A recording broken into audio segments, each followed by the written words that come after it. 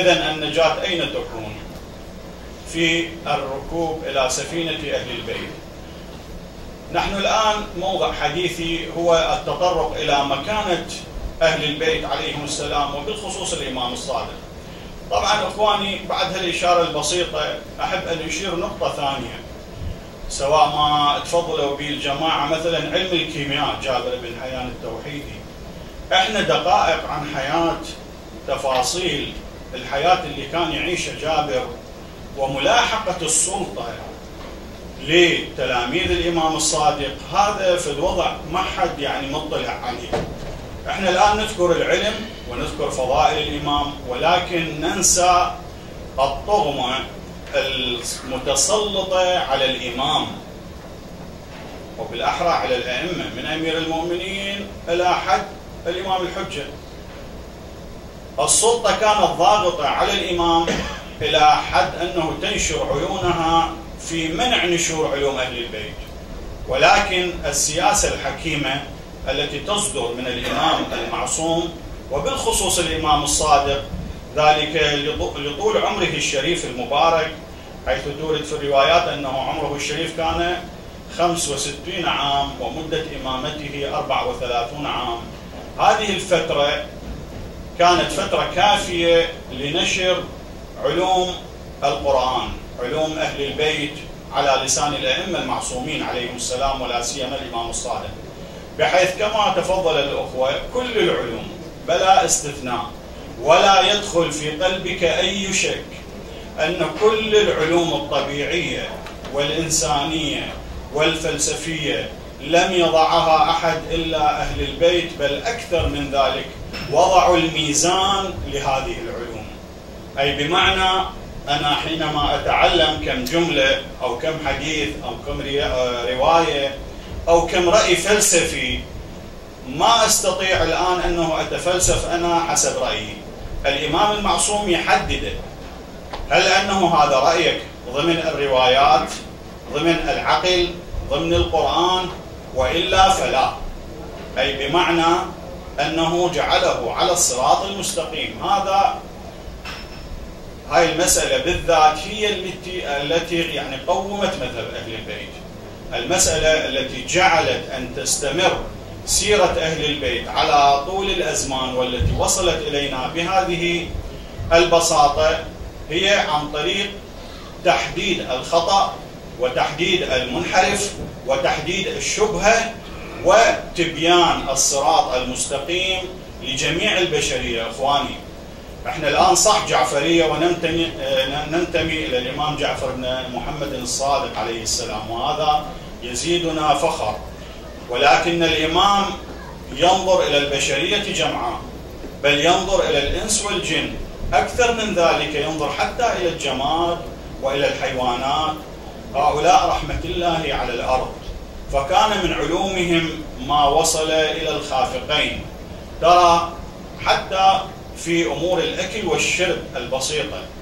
الآن أحدث الأنظمة التي تتبع للحفاظ على بنية الإنسان وصحته. نراه موجود عند الإمام الصادق عليه السلام. من أراد أن يرجع فليرجع إلى الطب النبوي أو الطب الإمام الصادق أو طب الإمام الرضا. ترى من الإرشادات التي تغنيك من هذه العلوم الآن موجودة سواء في الغرب أو الشرق. ونحن لا يعني ما لدينا اعتراض على هذا الشيء ولكن الراسم الأول هو الإمام الصادق أو الأئمة المعصومين. هنا أحببت أن أبين أنه نحن ما هو اعتقادنا بالإمام الصادق كموالين. رأيت رواية جميلة يستشكل فيها المنصور لعنة الله عليه على الإمام. أنا اخترت هاي الرواية لجزالة العبارات اللي بيها واللي حقيقة هي تمثل من لسان الظالم في حق الإمام المعصوم. وماذا يقول الإمام المعصوم؟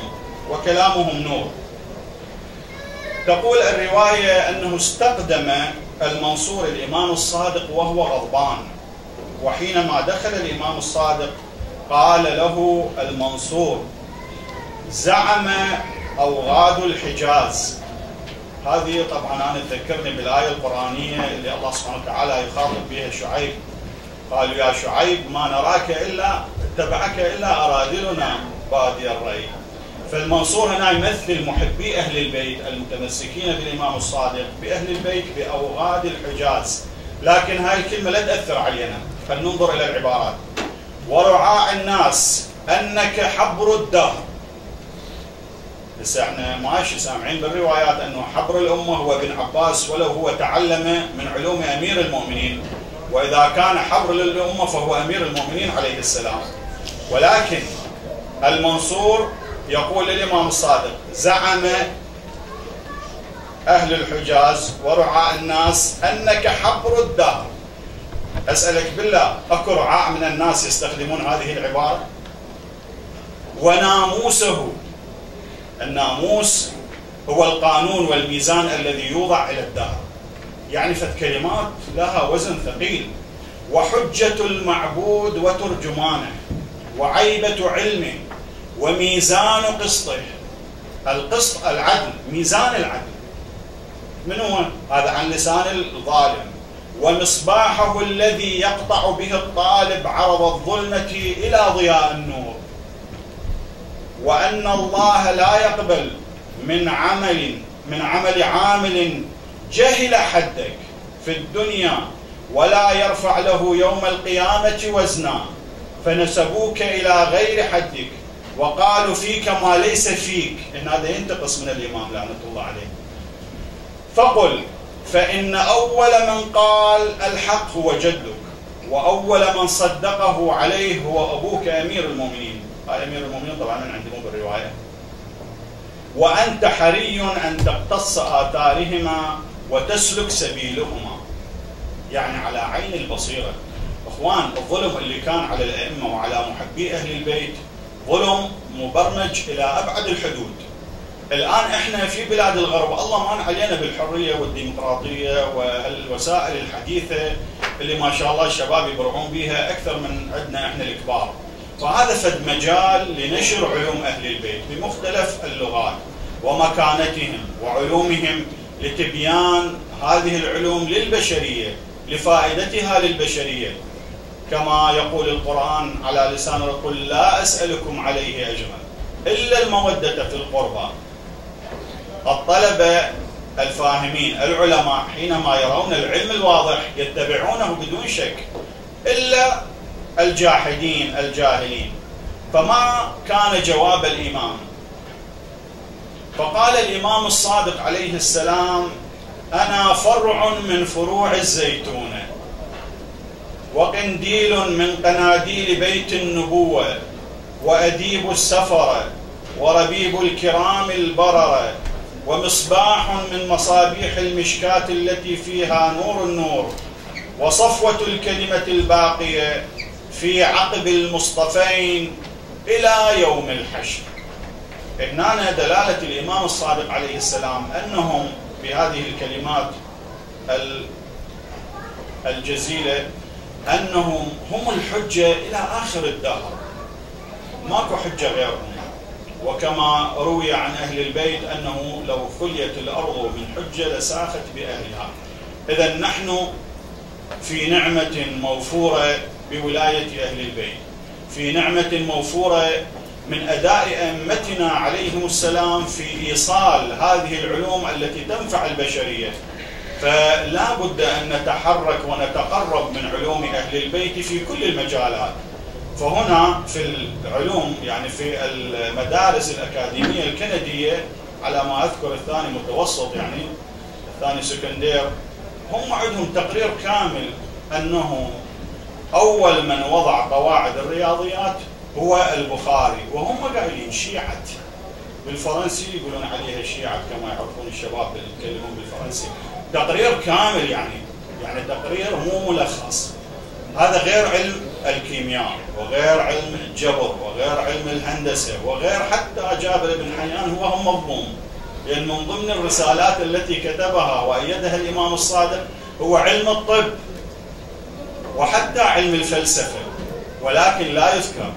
الإمام الصادق عليه السلام من خلال حوزته هذه رسم التخصص في العلوم ولكن أكو فارق بين الحوزة في ذاك الوقت وبين الجامعات، الجامعات حددت التخصصات وقلصت من دراستها وشرطت عليها فد مواد معينة وسنين بينما في زمن الأئمة الوقت مفتوح للعالم والعلم مفتوح يستمر به حتى يتوفى كما هو حال علمائنا ومراجعنا العظام. نراهم هو ابن التسعين وابن المئة ومستمر بالعلم والبحث والاستمرار. هذه هي سيرة أهل البيت. أنا الآن مو مثلا تلقى صاحبك موجود أو رجل دين في منطقتك موجود سنتين ثلاثة وياك تقول هذا شبعنا من حكي لا هذا غلط. هذا غلط فني. أنت اقعد سولف وياه على القرآن على سيرة أهل البيت أسئلة متفرقة. راح يحضر لك الأجوبة. هذا التناقش والتحاور والتوجه حول رجال الدين حول الخطباء حول الشباب المثقفين حول الأساتذة الجامعيين المتدينين اللي عندهم طابع ديني يكون على أساس فقهي. بهذا الحال نحن نتقرب من سيرة الأئمة المعصومين. هذا سيرة الإمام الصادق كما هي مذكورة بالتاريخ. نال الإمام الصادق ال ال الوقت الكافي في هذه الفترة. ولكن نحن لا نفرح كما قلت بهذه. لقد نال من الظلم ما نال حتى روي في الروايات أنه الرجل كان الرجل الموالي كان لا يخبر زوجته بأنه موالي لأهل البيت. يعني في رواية تروى أنه أحد الشباب توفى والده وعند الوصية أوصاه بالتمسك بمذهب الإمام جعفر بن محمد الصادق. فقال وكذلك أوصاه أن لا يخبر والدته بهذا لشدة العيون والتجسس فأخفى هذا الشاب هذه الوصية من أبيه. وحينما أدركت الوفاة والدته رأى والدته أيضا أوصته بنفس الوصية. لاحظت شلون؟ هسه إحنا الشدة والظلم تصل إلى هذه الدرجة بحيث الأب يخافون على ابنهم من هذا الشيء. وحين الوصية حينما أوصته الأم بهذه الوصية قال لها الحمد لله لقد أوصيتيني بوصية أوصاني بها أبي. فهذه شدة التعتم أنت الآن في غنى عنها الآن أنت في بلد حرية الآن أنت في علوم مفتوحة الآن أنت في وسائل اتصالات واسعة إلى أبعد الحدود. فيستطيع الشاب وكذلك الرجل الكبير وكذلك الأولاد لهم من المجال والأسئلة والأجوبة التي تتعرف بها على أهل البيت وحتى أخواتنا المؤمنين. لا ننسى التفقه والتعلم بسيرة أهل البيت حيث هي النجاة الوحيدة التي تجعلنا ننجى من بلاء هذه الدنيا بمحبة أهل البيت. كما ترد الرواية عن الإمام الصادق حينما سأل أبا حنيفة حينما كان جالسا عنده قال ما هو ما المقصود بالآية القرآنية ولا تسألن يومئذ عن النعيم؟ فأجاب أبي حنيفة قال يا ابن رسول الله الرطب والماء البارد في, في يوم شديد الحر. فأجابه الإمام عليه السلام قال يا أبا حنيفة وهل ترى من كرم الكريم أن يطعم ضيفه ويسأله عنه أمام الحشر؟ هل من المعقول أنت تطعم إنسان وتضيفه بعدين تسأله قدام الحشر؟ قال إذا ما هو القول يا ابن رسول الله؟ قال ولايتنا أهل البيت. فنحن بولاية أهل البيت عليهم السلام نحصل على النجاة في الدنيا والآخرة. والحمد لله رب العالمين. وصلى الله على محمد وآل بيته الطيبين الطاهرين. اللهم صل على محمد وآل محمد. شكر جزيل للأخ الأستاذ حسن الخفاجي على ما أبداه. كلمة طيبة بحقي. معنى رضا الله من رضا الوالدين. اثنين لماذا عدم ذكر الإمام الصادق على مستوى الجامعات والبحوث؟ وثلاثة لماذا يطلق علينا بالجعفرية؟ كيف نتعامل مع الروايات المتناقضة؟ فقط نجيب عن هذه الأسئلة إذا أحببتم أي واحد يتصدى لهذه الأسئلة. إذا سمحت الشيخ تحبون تشاركون؟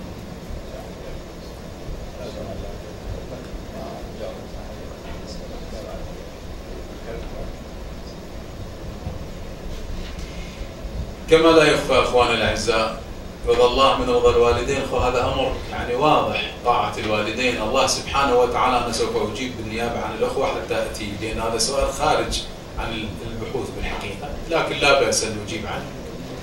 أنتم تعلمون إخواني أن الله سبحانه وتعالى أوصى وخصوصا ما وجدنا مثلا في الآيات والروايات التأكيد على الأبوين لأنه الأب والأم اوريدي هو يسكب مشاعره وعواطفه بالحقيقة على الأولاد، ما رأينا مثلا أب يبخل بمشاعره وعواطفه على الابن.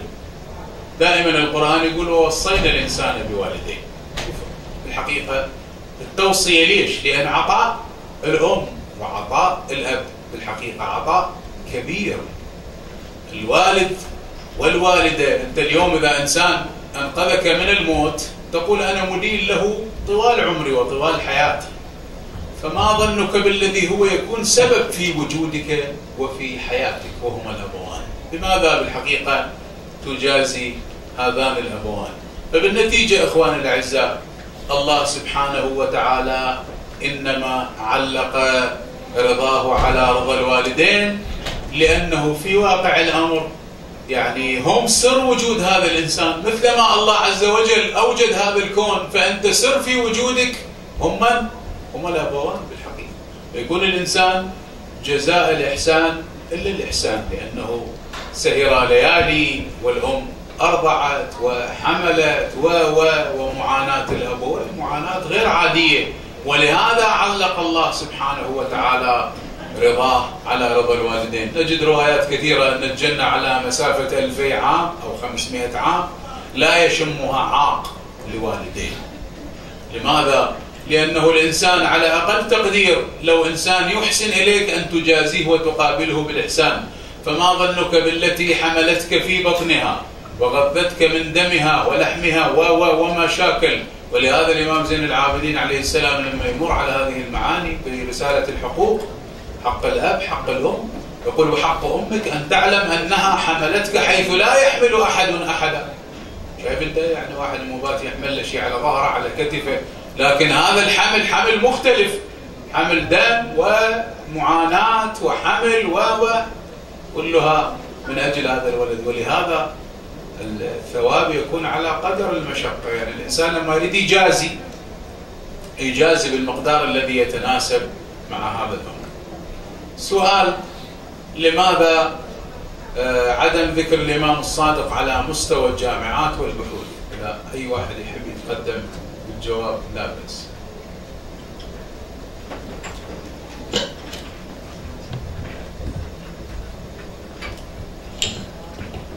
بسم الله الرحمن الرحيم. عدم ذكر الإمام الصادق في الجامعات مع الأسف صار يعني هذا الأمر آه، بدايته صار قبل 600 700 800 سنة. لما صارت بداية العلم الحديث علم اللي يسموه علوم التطبيقية علوم البحث هي أكثرها تدرس في الجامعات وغيرها.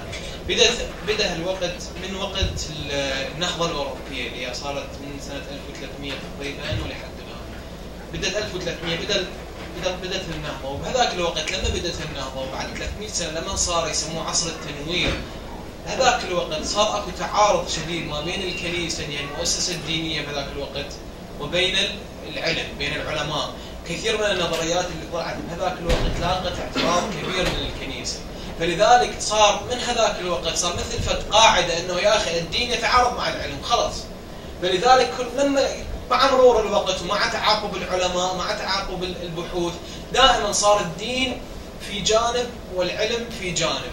وصار مثل فد تقليد بال بالأوساط العلمية إنه يقولون يا أخي نحن ما نخص بالدين. ولا ولا إن إن علاقة نثبت إنه هذا شيء ديني هذا شيء نثبت وجود الرب وجود الدين وجود الهاي. لا ما لنا علاقة. إحنا نبحث في في أطر العالم المادي. واستمر هذا التقليد لحد الآن.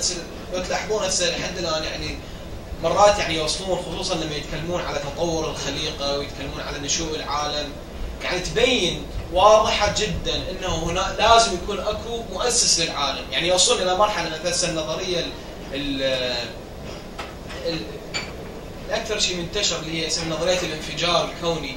إنه بالعالم بدأ مثل كانفجار صغير وشوي شوي تمدد هو كان كان شيء قبل ال- المكان والزمان وبدأ المكان والزمان. بينه يعني إنه من من هذا الشيء؟ شنو هذا الشيء؟ رب العالمين اي شيء خارج الزمان والمكان؟ سكتون ش- شنو هالشيء؟ شنو اللي قبله؟ سكتون فلذلك ما يعني الاعتراف بالرب والاعتراف بأي شيء خارج الطبيعة غير دارج بالأوساط العلمية. مع الأسف هذا الدرج ذك- يعني قصة ذكر الإمام الصادق وقصة ذكر آه، بقية الأئمة بال- بالعلوم وبغيرها لا يعني صعبه أنها تذكر لأن مثل ما قلت التقليد غير دارج. واضح؟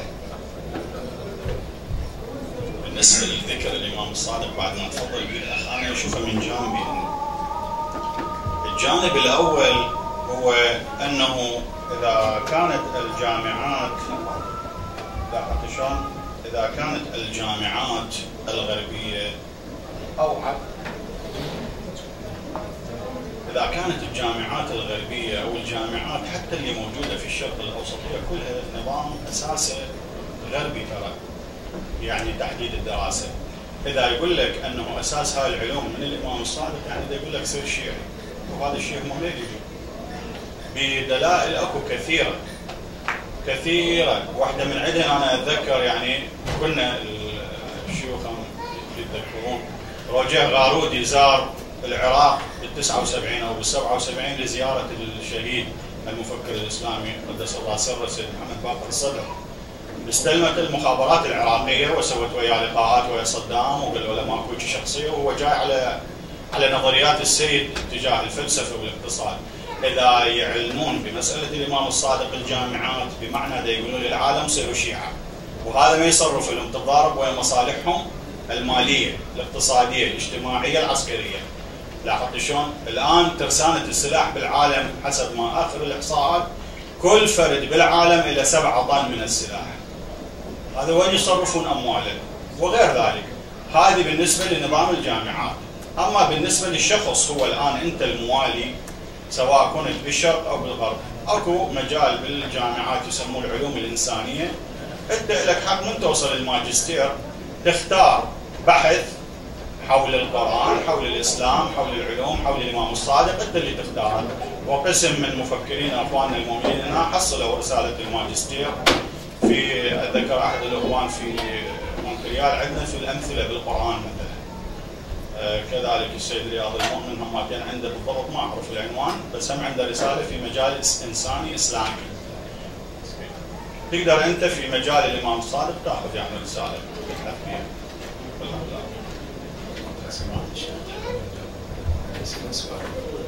هذا السؤال يقول لماذا يطلق علينا من الجعفرية وكيف نتعامل مع الروايات المتناقضة عن المعصوم. جزاكم الله خير. وجودكم مبارك يا شيخ. أعوذ بالله من الشيطان الرجيم. بسم الله الرحمن الرحيم. والصلاة والسلام على أشرف الأنبياء والمرسلين محمد وآله الطاهرين. صل على محمد وآل محمد مذهبنا لا يختص بتسمية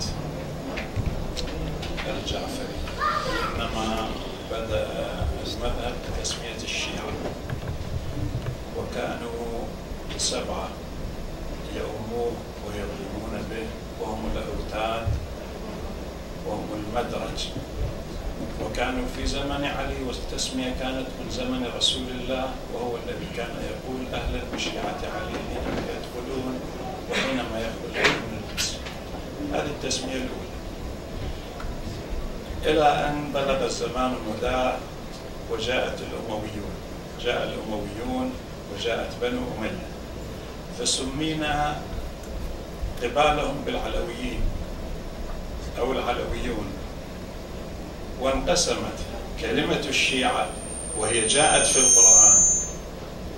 كلمة الشيعة جاءت في القرآن للمؤمن الموالي لأهل البيت وللطالح منهم. بهذا الشيعة باللغة العربية لها معنى في فقه اللغة. الشيعة يقال للفصيل من الإبل. الذي يبلغ عمره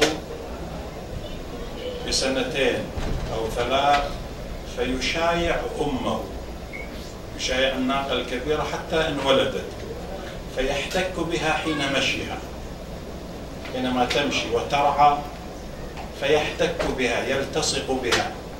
الفصيل محتكا بأمه بطنا ببطن وعنقا بعنق وأكلة بأكلة. فلهذا سميت بالشيعة. هذه من أين يعرفون هذا الفصيل؟ أو هذه الناقة بنت تلك يقولون من شيعتها أو من تشيعها. فسمينا شيعة لأن هؤلاء السبعة كانوا يحتكون بعلي بن أبي طالب ليلا ونهارا.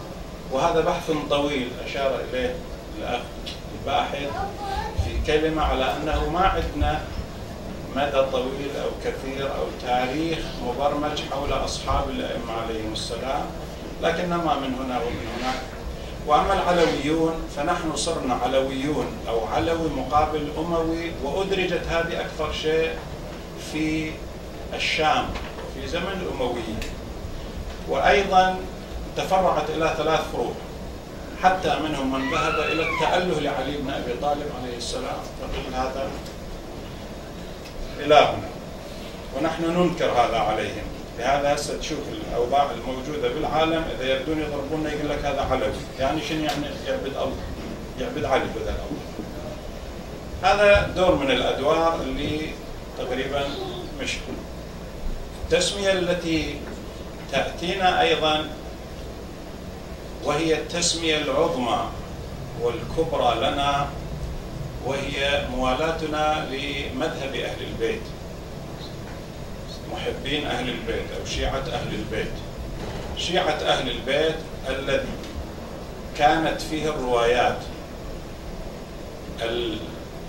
المبرمجة من قبل رسول الله صلى الله عليه وسلم حتى أدرجت في مفاهيم القلوب. يعني اللي يريد يصير شيعي مو هسه يقوم يصير شيعي. وشايفين انت مراكزنا سماحة الشيخ الإخوان الباحثين تلك المراكز ومن شبابنا ذاك اليوم أحد الإخوان الشباب عمره تقريبا 18 سنة أو 19 سنة جايب له اثنين كنديين. قال لي أنا عندي شوي مشكلة إني ألكن. لفظ مالي مو تمام. لا عربيتي فصيحة ولا فارسيتي تمام ولا إنجليزي. فأنا أشكو من لساني. لكنما طوع الله على يدي اثنين من ذول الشباب زين. فجلسنا معهم تحدثنا معهم. واذا بهذا الأخ زخهم زخا كانما ضاربهم أبر عقائدية مو كلمات. بسلوكه بنموه العقلي زين. فقلت لهم إلى أين انتميتم؟ قالوا انتمينا إلى مذهب أو إلى دين أهل البيت. الشيء الآخر الذي سبقت به التسمية على إيقاع رسمي ودولي وحكومي هي كلمة الشيعة هي كلمة العلويه هي كلمة إلى آن قالوا الجعفريه الجعفرية انقسمت إلى قسمين أيضا. الجعفرية الذين ينتمون إلى جعفر الصادق أي لن يبرحوا الخط ولن يميلوا عنه في زمن زيد بن علي اللي صاروا من زيديين. ولا لإخوة الإمام الصادق ولا للفئات الأخرى. وهذا ديدا طويل عليه ربما إذا سمحت الشيخ يفيدنا بالمجلس أو بالأمور الأخرى. فإحنا مشكلتنا أنه لما نجلس بمكان في ساعة نريد نبرمج للإمام الصادق. ما نبرمج لعد أنفسنا نريد ناخذ من الإمام الصادق. يعني كلنا نضع أنفسنا فوق السماء كيف نديرها؟ لا نضع أنفسنا تحت السماء كيف نستدار بها؟ كيف نستدير؟ آل محمد أعظم من السماوات أعظم من الشموس. أيها الشموس الطالعة الأقمار المنيرة.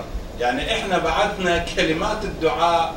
وهذا معذرة أنا أخاطب نفسي مو أخاطبك أنت أنت أعلى من شيء مجيئك لجلسة تسمى للإمام الصادق هذا فيها أكبر الجهادات وأعلاها وأسماها ليش؟ لأنه جيت تقول يا عمي أنا جاي للإمام الصادق علمني مما علمت رشدا فأنا أقدر اعطيك ولا ما أقدر اعطيك؟ عندك الإمام الصادق ولا ما عندك؟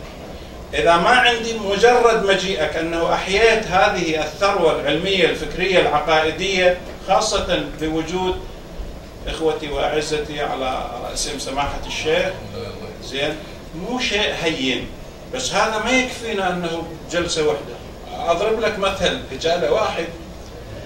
زين زرارة بن اعين قال سيدي آتيك أربعين سنة وأسألك عن عن الحج وتفيض علي. شو ما يخلص الحج خلص الحج يعني مسائل الحج إيش كثر؟ وما يقول له مسألة واحدة مو كل سنة جاية بمسألة حتى يقول له والله أخذت 40 مسألة. واليوم تشوفون شوفوا توضيح الرسائل العملية للعلماء الحج مو كتاب يعني ذاك الكتاب اللي واسع حتى تقول بقد الصلاة وبقد الطهارة من الكتب الصغيرة. يعني فيها أحكام يحتاجها الحاج هنا. قال إن الحج كان قبل آدم في السماوات بألفي عام يحج إليه من خلقه الله من الأنوار. أتظن أحدثك بأربعين احسب قبل آدم ألفين ومن آدم لهناش كثر؟ 15000 16000 آية 18000 17000 سنة. يقول له 17000 سنة إن الله يعالج مسألة الحج للسماء يعطيها للسماء لأهل السماء. فأنت تريدني كل يوم أو كل موسم حج تسألني كم مسألة عشر مسائل. أينفذ؟ هذا حج الله. أتعلم ما فيه؟ تعرف فلسفة الحج قال كيف؟ قال إن شيعتنا لما يذهبوا إلى الحج ويكونوا يأخذون منا يتعلمون منا عند ذلك تعرف معنى الحج. لهذا كلمة الجعفرية يعني من انتسبوا باعتقادهم الذي أباد كل شيء وكل شيء وكل رين من العقائد القرآنية المحمدية سموا بالشيعة وبعد هذا الاسم عندنا كلمة الاثنى عشرية. لهذا في إيران في بعض البلدان لما تقول مثلا شيعي تكون تقول اثني عشري أو لما تقول جعفري تكون تقول اثني عشري وإلا إذا جعفري يوقفوا يقول لك يعني أنت لأنه عندنا جماعة وقفوا على الإمام وقفوا على جعفر الصادق سلام الله عليه وقفوا على الإمام الكاظم وقفوا على الإمام الهادي حتى ودخلت ذاك اليوم أقرب مناسبة الامام الهادي عليه السلام أنه جماعة إجوا من دول المفبركين يعني. قال له كيف أضرب الخليفة؟ يقول له كيف أضرب الهادي؟ قال بالطرق اللي عندنا ما تقدر تضرب. قال أتسمح لي أن أدخل عليه من باب الاعتقاد؟ قال فادخل. قال إني أقول بقضية الاستنساخ الربوبي إن الله يستنسخ في بعض عباده. يعني يوم بهذا ويوم بهذا. ممكن انت بكرة بعد بكرة انت تصير الرب.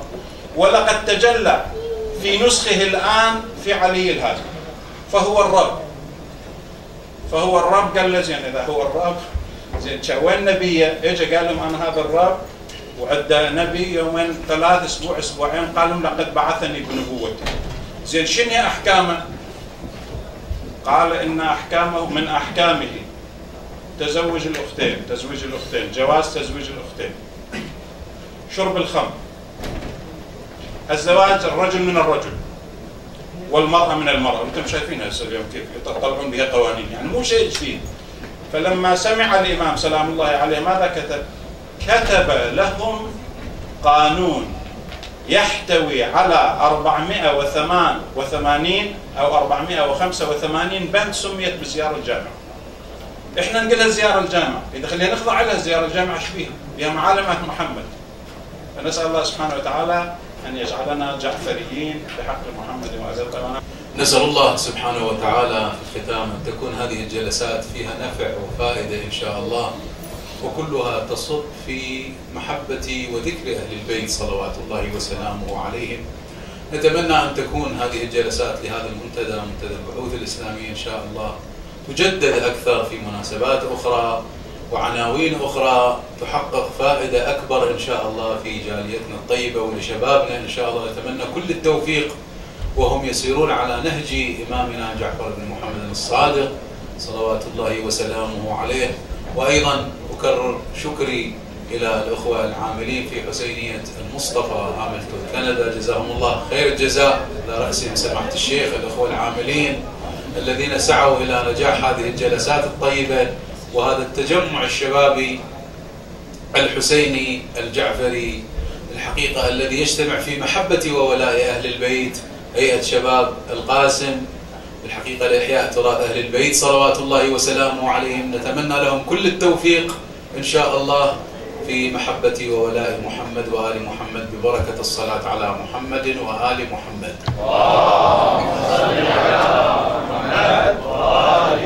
شكرا لكم أيضا أخوتي أخواتي تجشمتم العناء بالحضور والتواصل والصبر.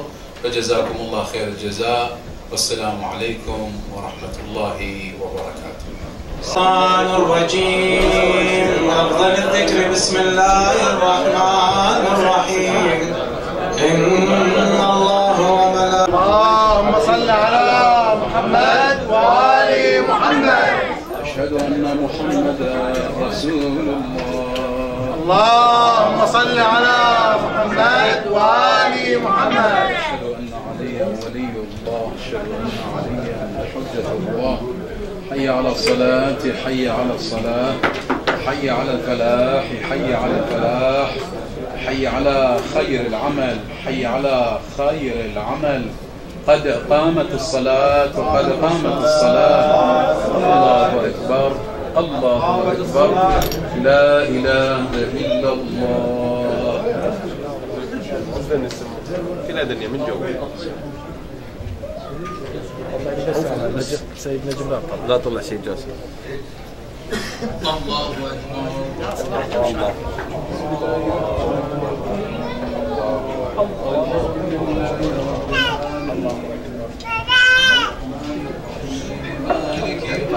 الله الله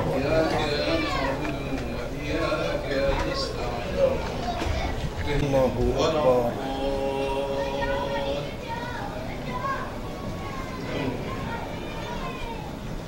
بسم الله الرحمن الرحيم. إذا جاء نصر الله والفتح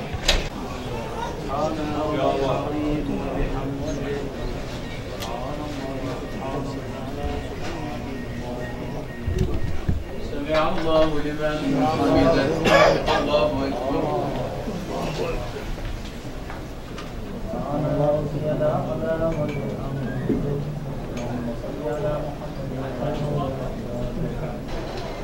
الله أكبر.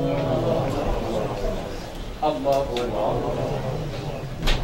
أنا ربي الأعلى وبحمده اللهم صل على محمد وعلى محمد الله أكبر أعوذ بالله تعالى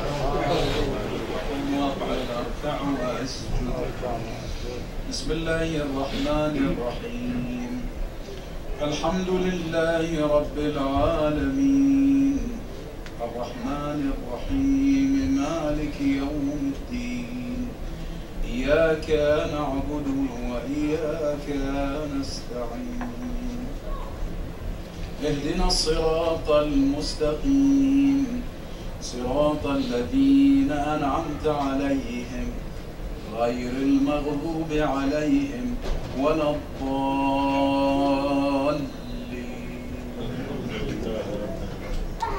بسم الله الرحمن الرحيم. قل هو الله أحد. الله الصمد. لم يلد ولم يولد ولم يكن له كفوا أحد. كذلك الله اللهم صل على محمد وآل محمد. ربي اغفر وارحم وتجاوز عما تعلم. إنك أنت الأعز الأجل الأكرم. صل يا رب على محمد الطاهرين الله سبحان ربي العظيم وبحمده. اللهم صل على محمد وآل محمد. وعجل فرجهم سمع الله لمن الله أكبر. أنا ربي الأعلى وبحمده صل على محمد وآل محمد. الله أكبر. الله أكبر. سبحان ربي الأعلى على محمد يا ولي العالمين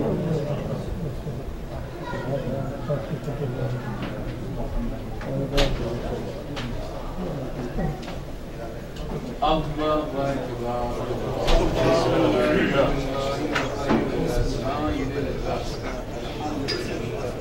أشهد أن لا إله إلا الله وحده لا شريك له وأشهد أن محمدا عبده ورسوله. اللهم صل على محمد وآل محمد. السلام عليك أيها النبي. السلام علينا وعلى عباد الله الصالحين. السلام عليكم ورحمة الله وبركاته إن الله وملائكته يصلون على النبي. يا أيها الذين آمنوا صلوا عليه وسلموا تسليما. اللهم صل على محمد وآل محمد. اللهم صل على محمد وآل محمد. اللهم صل على محمد وآل محمد. اللهم كن لوليك الحجة ابن الحسن صلواتك عليه وعلى آبائه في هذه الساعة وفي كل ساعة وليا وحافظا وقائدا وناصرا ودليلا وعينا حتى تسكنه أرضك طوعا وتمتعه فيها طويلا برحمتك يا أرحم الراحمين اللهم صل على محمد وآل محمد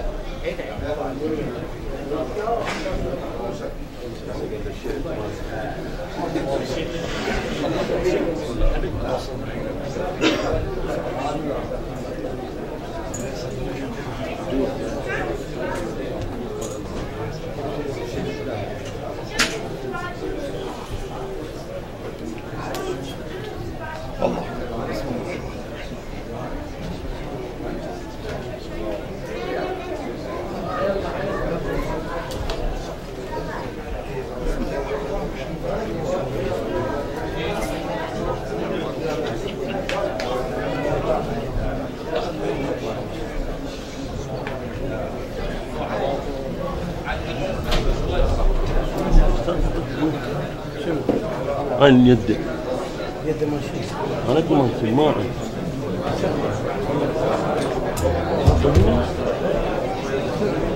من ليش عاطل؟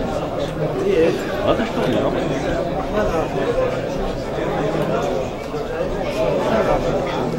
جديدة دي.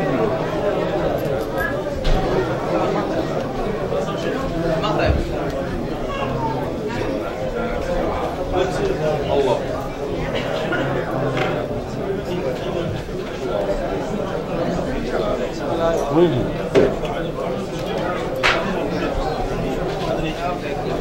راح جوها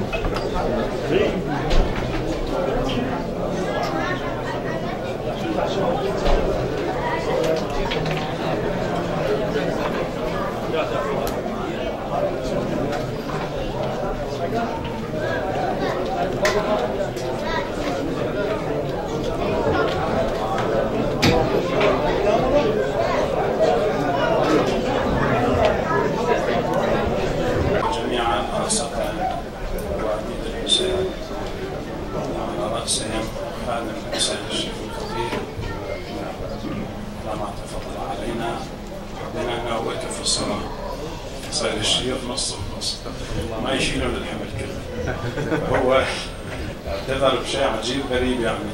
يقول أنا لأنه القصر ما اصلي اي دونت نو أنتم شوفوا الفسير شو يقول عن شيء. دائما هو المظلوم مذلوم قلنا عبد اليوم ما نجي ما صارت.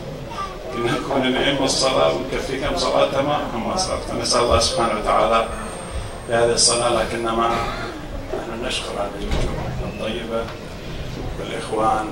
سائلين الله سبحانه وتعالى أن دائما تكون صلواتنا وأوقاتنا مبروكة إن شاء الله خاصة لذرية الإمام الحسن وشباب الإمام الحسن الذين ما قدم في كربلاء أكثر من شباب الإمام الحسن وما فلت منهم إلا جريح وبقيت ذرية الإمام الحسن عليه السلام على هذا الجريح وهو الحسن المثنى. فنشكر أيضا الشباب الذين جاءوا من قريب ومن بعيد بصفة هيئة عريس آل محمد وعريس كربلاء. نسأل الله سبحانه وتعالى أن تكون دائما نفوسنا وجهاداتنا عرسا من أعراس إمامنا الإمام الحسن عليه السلام. آه نشكر الإخوة خاصة سماحة الشيخ الخطيب على هذا القدم المبارك وهذا التفضل المتكاثر والمتعالي علينا. أنا من خدمة حسينية المصطفى. أشكر جميع حسينياتنا خاصة الحسينية الزينبية التي علمها يرفرف منذ سنوات وأنا أعتز أن أكون من خدمي خدمتها. فنسأل الله سبحانه وتعالى التوفيق للجميع. نصلي إن شاء الله ونباشر بعزنا الله أكبر. يرحمكم الله. بسم الله الرحمن الرحيم. الله أكبر. الحمد لله رب العالمين. الرحمن الرحيم. مالك يوم الدين.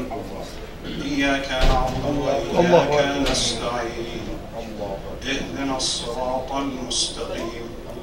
صراط الذين أنعمت عليهم غير المغضوب عليهم ولا الضالين.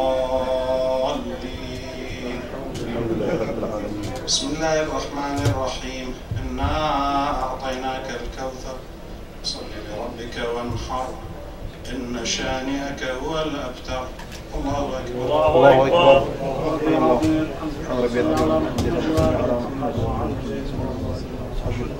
سمع الله لمن حمده الله لمن الله أكبر الله أكبر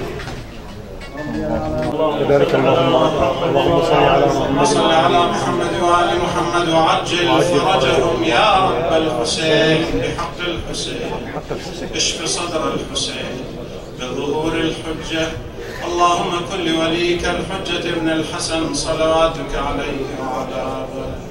في هذه الساعة وفي كل ساعة وليا وحافظا وقائدا وناصرا ودليلا وعينا. حتى تسكنه أرضك طوعا وتمتعه فيها طويلا.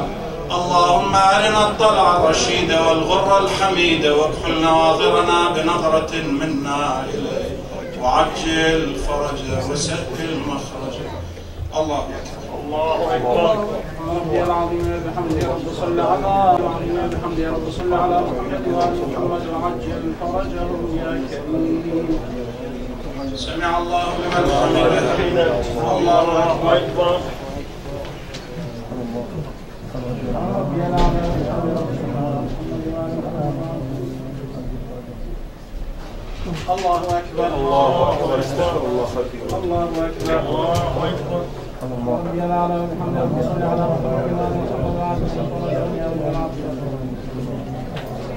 محمد يا لطيف.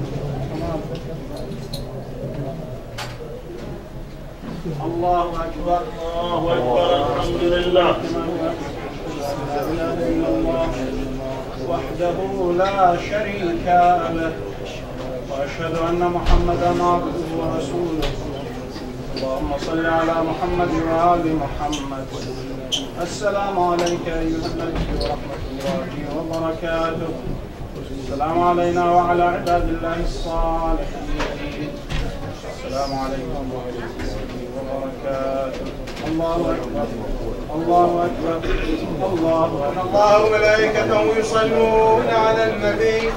يا أيها الذين آمنوا صلوا عليه وسلموا تسليما اللهم صل على محمد وآل محمد اللهم صل على محمد وآل محمد اللهم صل على محمد وآل محمد اللهم لوليك الحجة